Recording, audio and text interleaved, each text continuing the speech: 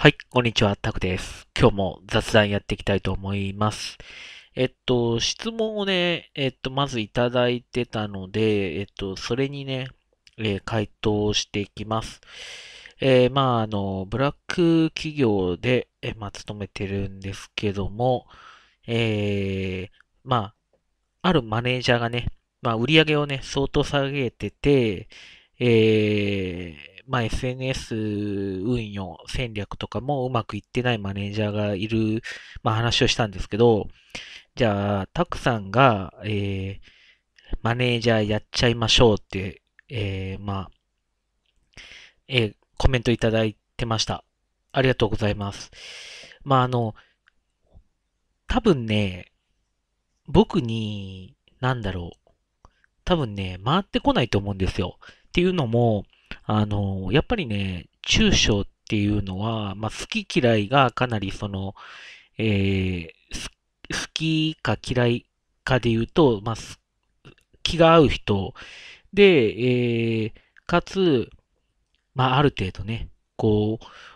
何も文句を言わずに、えー、思い通りに動いてくれる人の方が、えー、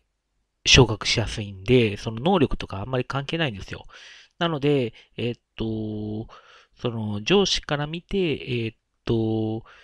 かなり好き、好きな人を、え、マネージャーとかに、あの、昇格させるので、多分僕にはね、声かかんないと思います。あと、そうだな。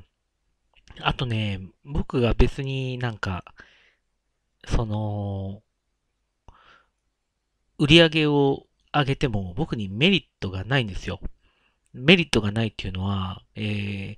会社員であるっていうことは、あの、別に会社の売り上げが上がっても、その、売り上げに対しての連、連動の給料ではない、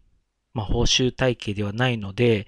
売り上げが上がっても別に給料が上がるわけではないので、